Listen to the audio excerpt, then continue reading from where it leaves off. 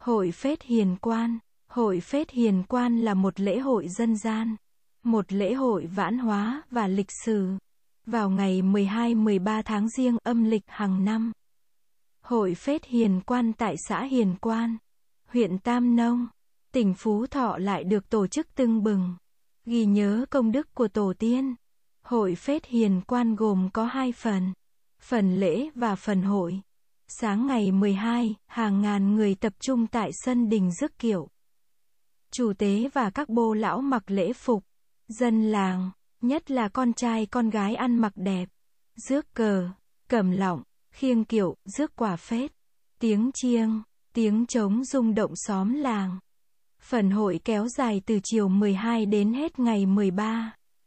Ngoài cuộc thi dân gian như nấu cơm, làm bánh dày, kéo co, đấu vật thì đến phần cướp phết là vui nhất.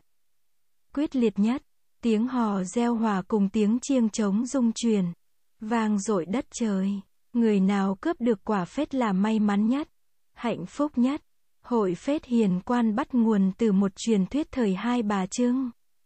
Thiều Hoa là người con gái xinh đẹp ở động Lăng Xương bên sông Đà.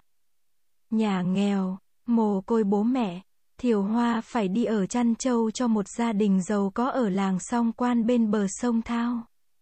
Nàng hiếu động, sắc sảo, lại ưa thích những trò chơi đòi hỏi sức lực và nhanh nhẹn như kéo co, đánh đáo. Đánh phết với các bạn chăn trâu. Khi hai bà Trương dựng cờ khởi nghĩa ở Mê Linh, Thiều Hoa mộ binh ứng nghĩa được nghìn dũng sĩ, kéo về hát môn. Thiều Hoa được Trương Trác Phong làm đông cung tướng quân. Lĩnh ấn tiên phong cùng các anh hùng nữ kiệt trăm vùng kéo quân về Luy Lâu. Diệt trừ thái thú Tô Định và quân giặc Nam Hán. 65 thành trì được giải phóng. Hai bà Trương Sưng Vương. Đóng đô ở Mê Linh. Thiều Hoa và hàng trăm nữ tướng khác được Trương Nữ Vương phong thưởng. Thiều Hoa không nhận quan chức ở triều mà xin được về bản xã. Trường Vương ban cho xã song quan, hiền quan ngày nay, làm thực ấp. Nàng trở về bản quán, xây dựng đền, chùa, tu hành ở đó. Bao nhiêu vàng bạc, lụa gấm được vua ban. Nàng phát cho các bô lão và dân làng. Một năm sau, Thiều Hoa qua đời. Nhân dân lập miếu thờ, Trương Vương truy phong là phụ quốc công chúa.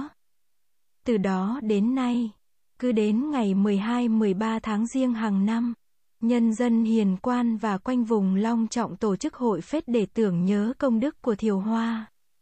Nữ anh hùng dân tộc thời đại hai bà trưng.